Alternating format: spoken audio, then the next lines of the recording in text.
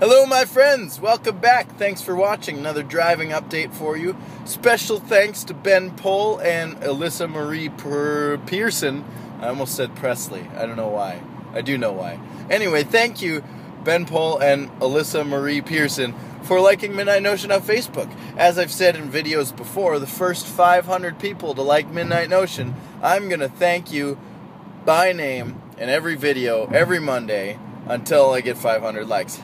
How cool is that? How many bands thank you by name? None. That's how many.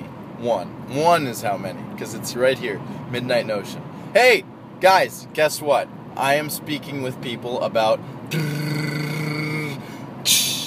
music videos. That's right, Midnight Notion music video. I'm not talking some low quality handheld iPhone video like most of the videos that I make. I'm talking, let's get some real gear, some real backdrops, and some lighting.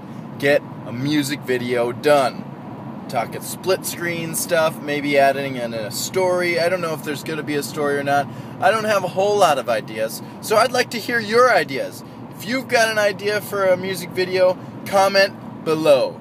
Whether that means comment on YouTube, comment on Facebook, or reply on Twitter. I don't care how you comment. Just send me some sort of message to tell me what you think would be a great idea for a music video. The song will be I Feel Bad for You by Midnight Notion from the March to Midnight EP.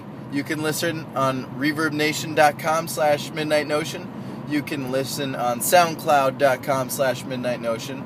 Or you can just find it on your own on some other site. You could buy the CD. Hey, you could buy it from me for $5 that's a steal because everywhere else it's more expensive. So get it from me. I have physical copies and they're great.